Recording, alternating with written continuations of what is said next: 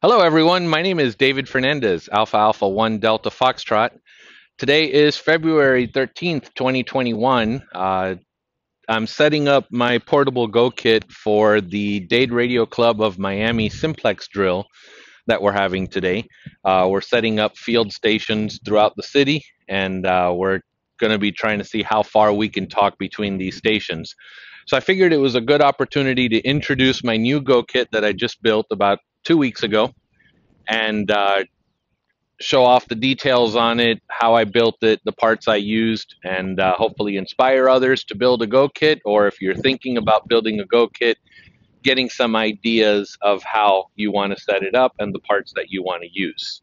One thing I will note about this Go kit build is this is my second Go kit. I had a prior Go kit that in, consisted of a Plano orange waterproof box uh, that was more of a battery pack with storage inside for my dual band radio, antenna cables, and a few other accessories. Uh, over time, my Go kit has grown. I've added HF capabilities, I've added more components to it with the old Go kit, my radios, when they were being used, were just sitting on the table with a rat's nest of cables going down to the battery pack. Uh, it was really unprotected. With the new Go kit, my goal was to build something that was all in one, one box. I could just pick up that one box, take it, and use it, and everything was permanently installed and protected uh, I didn't have so many failure points with wiring and connectors and everything like that.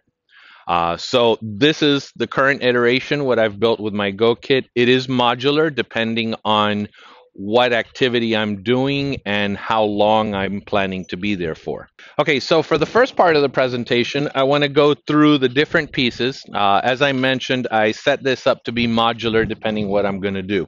So the primary Go kit is this box right here. This has everything I need in order to get on the air from an event. Uh, if it's an event that has good local coverage repeater, I don't need an external antenna. I don't need anything. Uh, and we'll go through the details of what's in each one of these setups later once I get everything set up. Uh, but this has all my radios. It has a built-in battery. Uh, I have a portable antenna that I deploy with it. So this is my one and all box to get me on the air.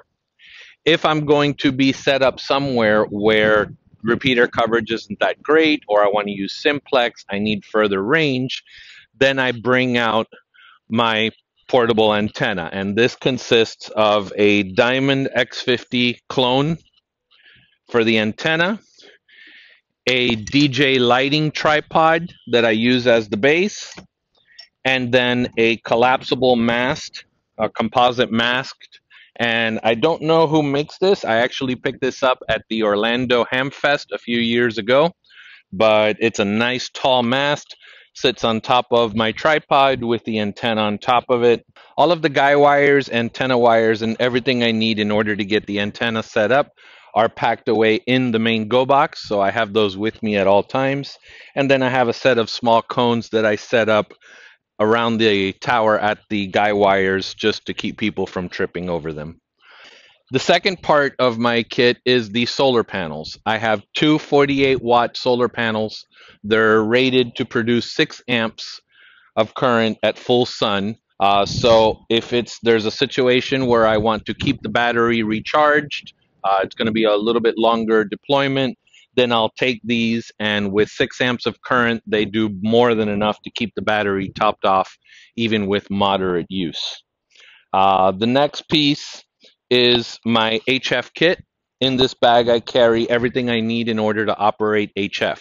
Uh, I have an off-center fed dipole, uh, my antenna tuner, uh, assorted cables, uh, and other items that I need uh, in order to get on the air with HF. So if this is just a public service event or some kind of localized emergency, I don't have to carry this. I have everything I need to operate VHF UHF in the main kit. But for HF deployments, then I carry this bag. The final piece is my external battery pack. As I mentioned, the kit has 24 amp hours uh, worth of battery in it already. Uh, but for longer deployments like field day or a multi day event, uh, long overnight events where I don't have solar to recharge, then I have an external battery pack with an additional 48 amp hours of battery that I can use to extend my capabilities with the kit. So let me get everything set up and then we can talk in detail about what's in each one of the kits and how they actually work.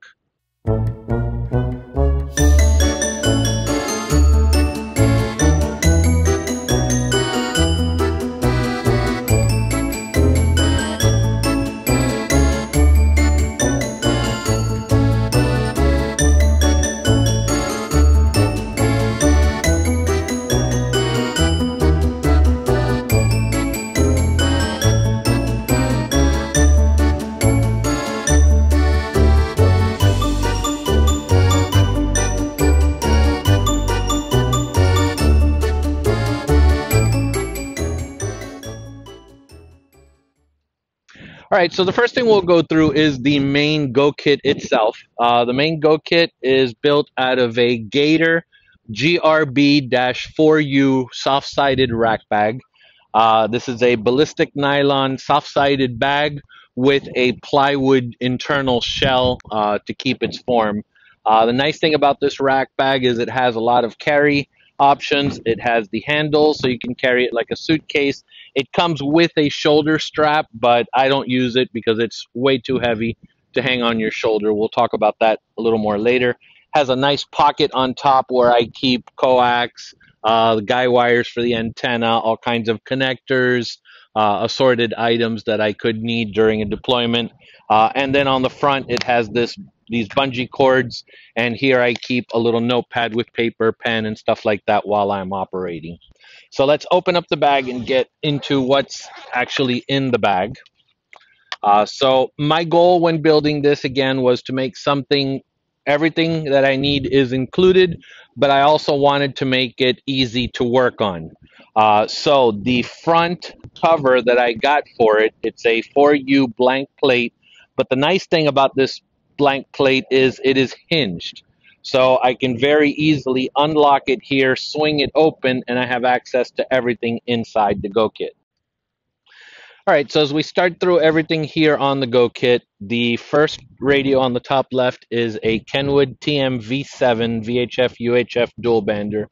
I've had this radio for a really long time. Uh, these radios, unfortunately, the old TM-V7s, are infamous for the blue display dimming out and uh, the LCD, the ribbon cable goes out on it. Uh, I've been lucky with this one. The ribbon cable is still good, and I actually changed out the LED lighting from from blue to white. Uh, doesn't have the greatest visibility during the day, uh, so that's one thing. If you have an option to use another radio, uh, you might want to consider something with a traditional LCD that is more visible during the day. Uh, the next radio over is my HF radio. It's my Yaesu FT891. It's a great little compact radio, full power, 100 watt uh, HF, uh, which works out beautifully here in the Go kit. Uh, below that, I have a temperature gauge. Uh, and the sensor for that is mounted to the actual radios. So as I operate the radios, I can monitor the temperature uh, near the heat sinks to make sure the radios aren't running too hot. Uh, below that, down here, I have connections. I've put uh, a switch. Uh, in the case, I have a built-in speaker. Uh, I decided to go with just a single speaker because I there's not too many scenarios where I'd be trying to listen to both radios uh, at the same time.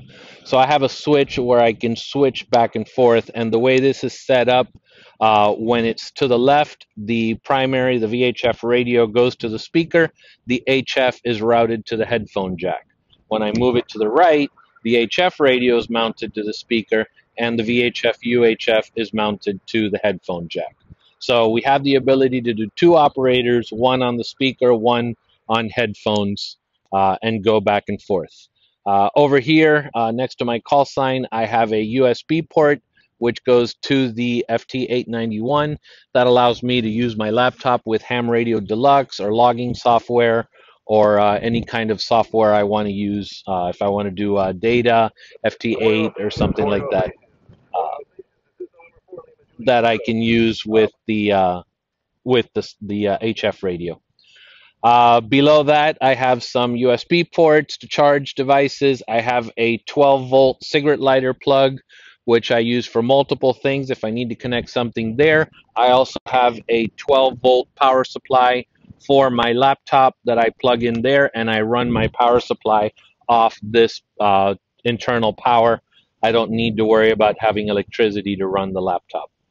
Uh, next to that, I have my solar charge controller. We spoke about the solar panels before. So this is what allows the solar panels to recharge the internal batteries and the external battery when connected. Uh, below that, I have some circuit breakers for the different the devices, the, the plugs, the cigarette lighters, and stuff like that. The radios are actually fused inside the case uh, because these circuit breakers are only 15 amps and the uh, radios require a little bit more than that. Uh, as we move to this side of the case, uh, the first thing is a speaker. This is a Maycom speaker uh, that I had laying around that I built into the case here. Uh, underneath it, I have the two microphone jacks for the radios. these are connected in the back to the actual jacks in the radios. I have my connection here for external battery where I connect my external battery pack. Uh, so I have power cable that comes up from the external battery we spoke about earlier and plugs in right here. And now the external battery is linked in with the internal battery for all this. Uh, next to that, I have a few more Anderson power pole connectors. Uh, this is the input from the solar panels that comes into here. Once I plug this in, you'll see that now the solar controller is indicating that it is charging from the solar panels. Uh, I also have an external charge connector here where if I want to put a trickle charger or something on this battery to keep it charged, I can. Uh, and then underneath that, I have two sets of Anderson power poles with outputs. These are going through the circuit breakers. So if somebody has an external radio or I have another external radio that I want to run off here, I can plug it into there. So here, this is the main power switch that cuts power to the entire uh, system. When this switch is off, there is no load on the battery.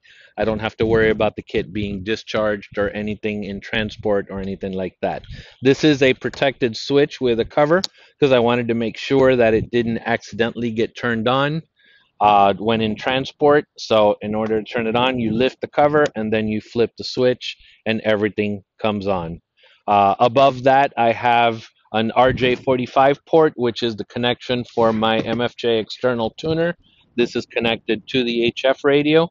So I just take my cable, it's a regular Ethernet cable from the MFJ tuner and plug it into here. And now the, F, the uh, automatic tuner comes up. And above that, I have the two connectors, uh, the one for the HF antenna and the one for the VHF-U antenna, UHF antenna, which is connected to here.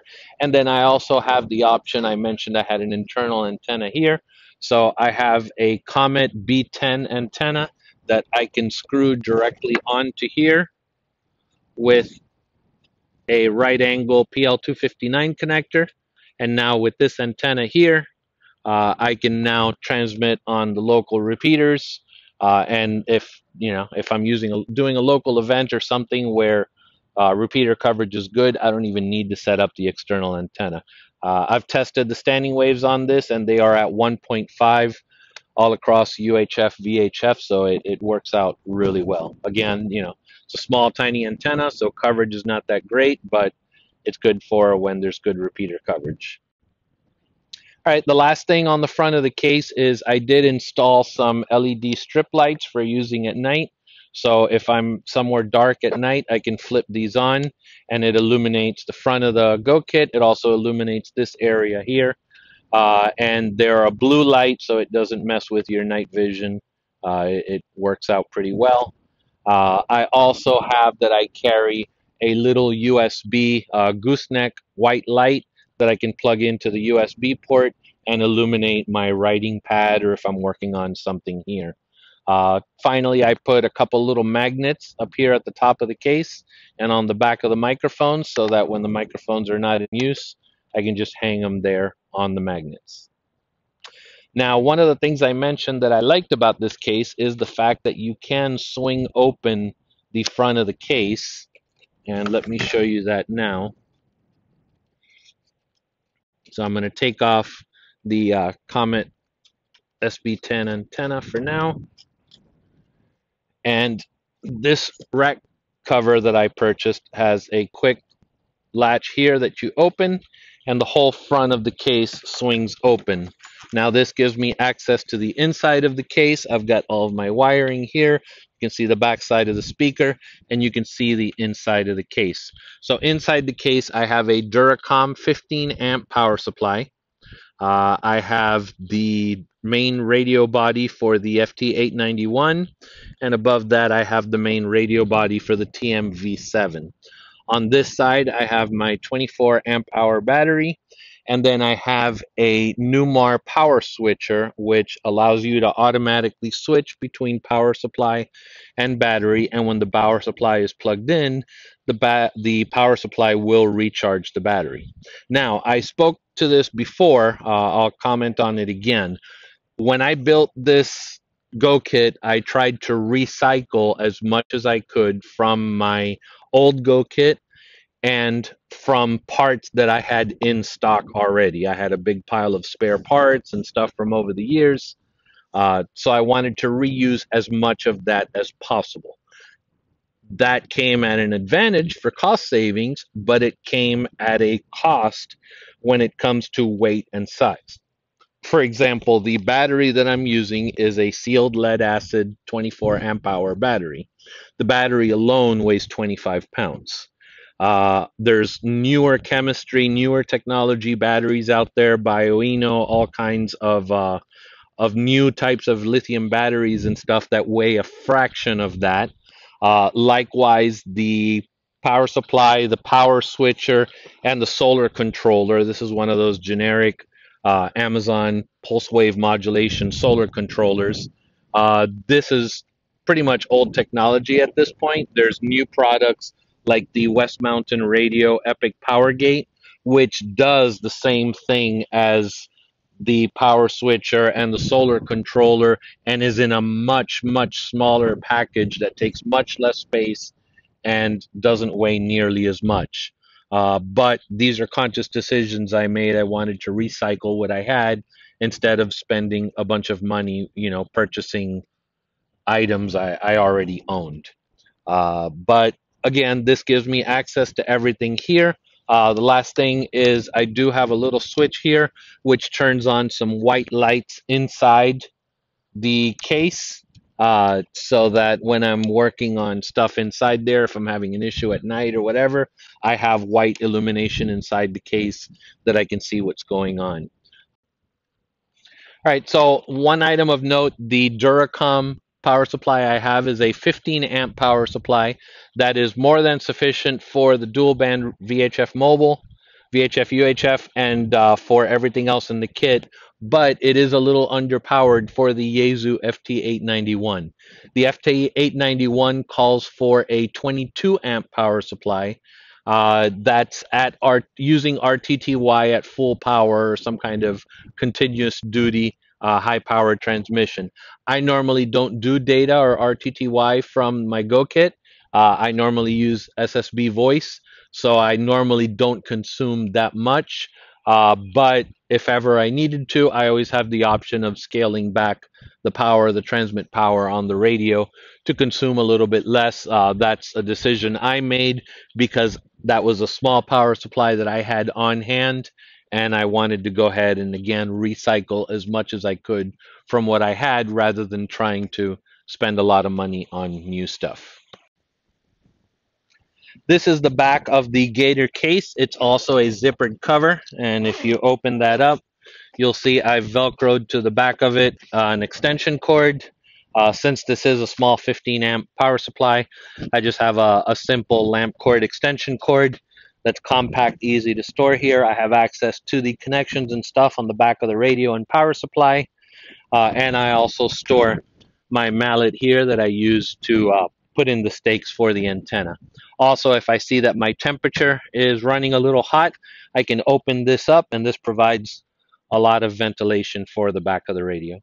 The last thing I did to the Gator case was I attached some feet to the bottom of it.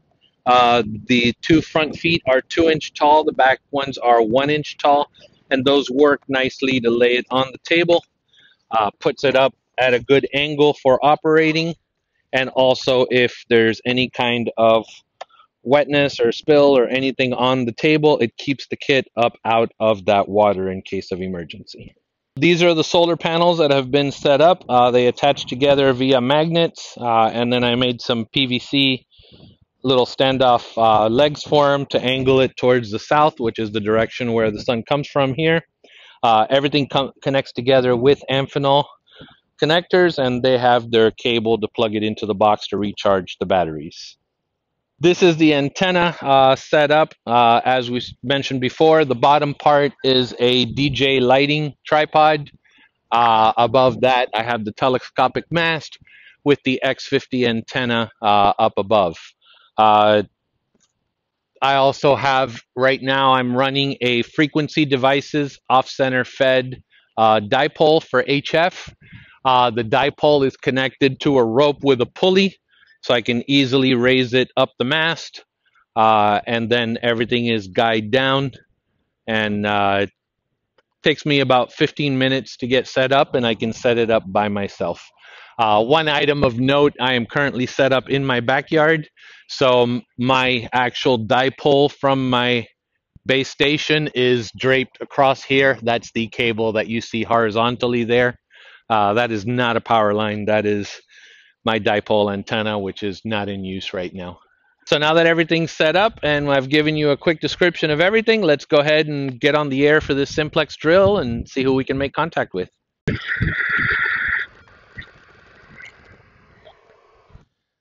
Alpha Alpha 1 Delta Foxtrot on frequency. I had a copy on Yankee Delta.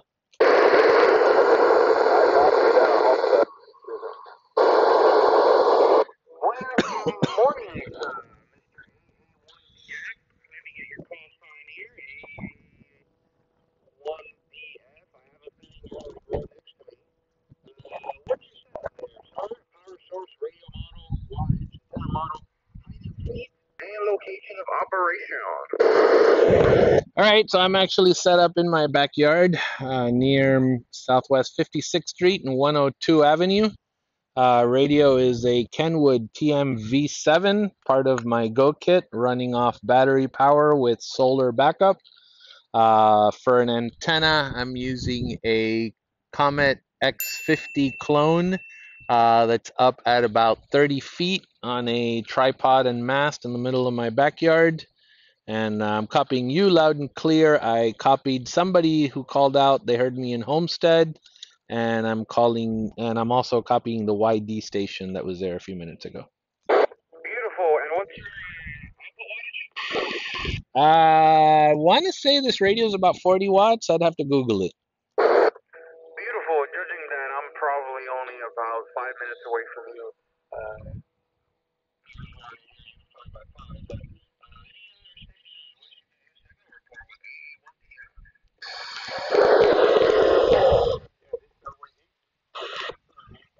so I'm west of the uh, on uh, actually uh, on Bird and 147. Uh, just, uh, a little bit of stress all right, likewise, you're almost full quieting here, just a tiny bit of picket fencing, but great signal, loud and clear. Uh, I can hear you perfectly here. Great, thank you very much for the report. All right, so that's pretty much it. Had a successful setup, made a few successful contacts uh, with the field station, so I'm very happy with the way it's come out and looking forward to getting lots of use out of it and uh, it should serve my needs for quite a long bit. So uh, thanks for staying with me here, listening to the presentation. Hope you all enjoyed it. Uh, if you have any questions, feel free to reach out, and uh, I'll be happy to answer them.